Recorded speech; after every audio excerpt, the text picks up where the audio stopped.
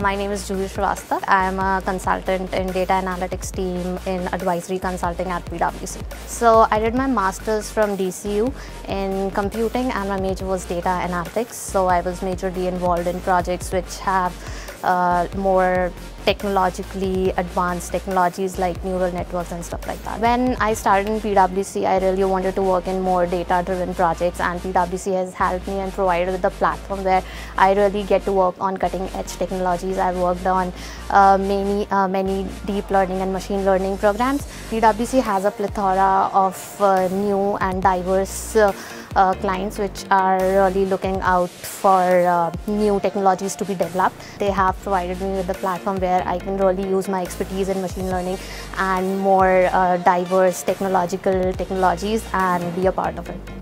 So the first thing about PwC, it's uh, a very open culture and it's diverse and I'm confident like if I have some ideas I would be heard of so regardless of the position which I hold in the company. So that is one thing which drew me to PwC and I'm really happy that it's very inclusive and I'm confident that uh, I'll be heard of the ideas which I have.